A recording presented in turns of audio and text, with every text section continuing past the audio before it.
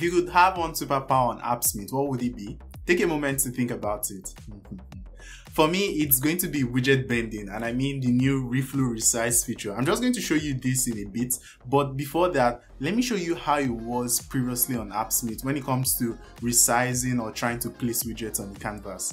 So here I have the canvas opened up and I'm just going to place a couple of widgets on the canvas. So you have a chart widget here, um, I'm going to scroll down and also bring in a list widget here.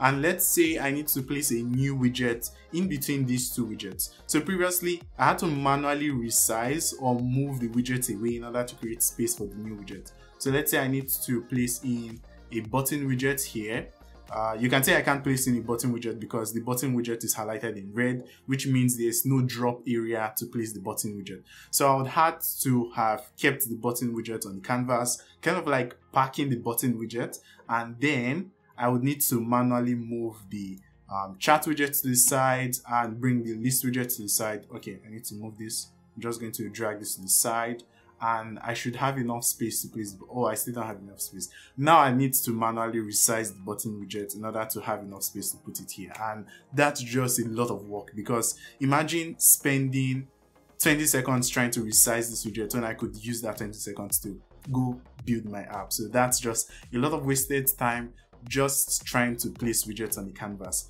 But with the new drag and drop experience, we are kind of like calling it reflow resize, which is the widget bending superpower I told you about. It actually makes things so much easier because you don't have to do all the manual work. So I'm just going to Command Z, take everything back to the initial state of the application, and we'll try placing the button in between the chart and list widgets with the reflow feature. So I'm just going to turn this on and I'm sure you must have seen uh, the new notification here telling you about the new drag and drop experience. So I'm going to turn it on and then let's go try to place a button widget between these two. So you have the button widget here and you can see immediately that trying to place the button widget in between the chart and list widget automatically creates new space for the button widget and the other widgets just move away or move around in order to create space for the button widget. And with this, I can place the button widget and you have the button widget right there. This took me way less time because you have the whole logic of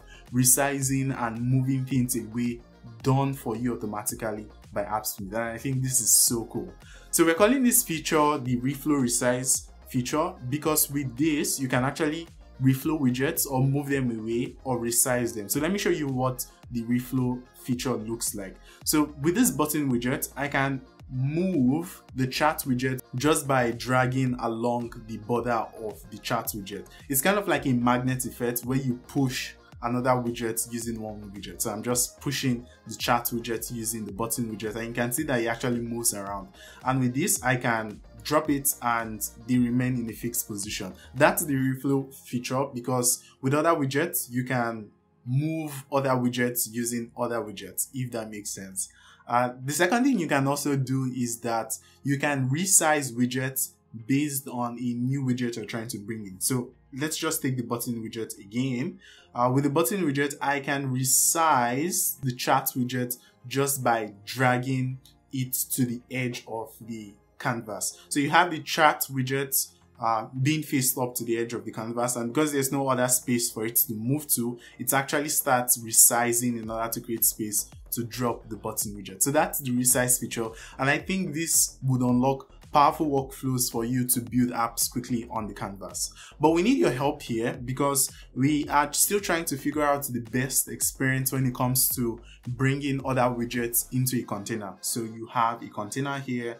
I'm just going to bring this quickly and show you um, how it looks like right now. So you have a container, okay? And uh, let's say I need to bring in the button widget into the container. So to do that, I need to start moving the button widget towards the container widget. But if my velocity or mouse velocity is a little bit slow, I end up pushing the container widget down, which is not what I want. In order to bring the button into the container, I have to move a bit faster. So moving it faster like this, it uh, brings the button widget inside. Moving it out um, a bit faster also brings it out. So fast in, okay, that didn't work. Fast in brings it in, fast out brings it out. And that's the current experience with moving uh, widgets into a container or out of a container.